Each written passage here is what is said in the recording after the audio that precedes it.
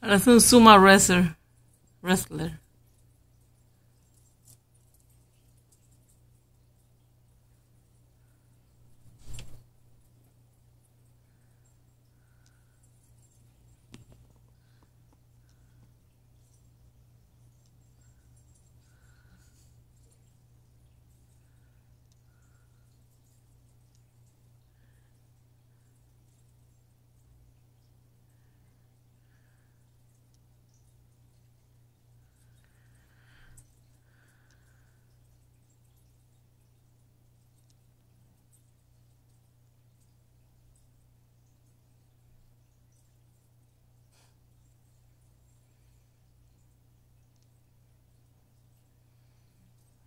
Uno molde.